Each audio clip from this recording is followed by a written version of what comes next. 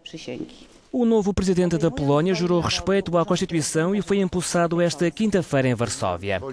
Eleito no final de maio, na segunda volta das presidenciais, derrotando o anterior chefe de Estado, o conservador Andrzej Duda, de 43 anos, assume a presidência um dia após a Polónia aprovar nova legislação sobre os empréstimos em francos suíços, que ameaça pressionar o setor bancário.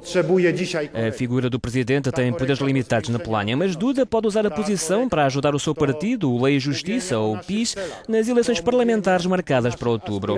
No primeiro discurso, o novo presidente salientou a importância de uma boa cooperação com o governo, o que seria reforçado se o PIS derrotasse o atual partido no poder, o Plataforma Cívica, ou PO.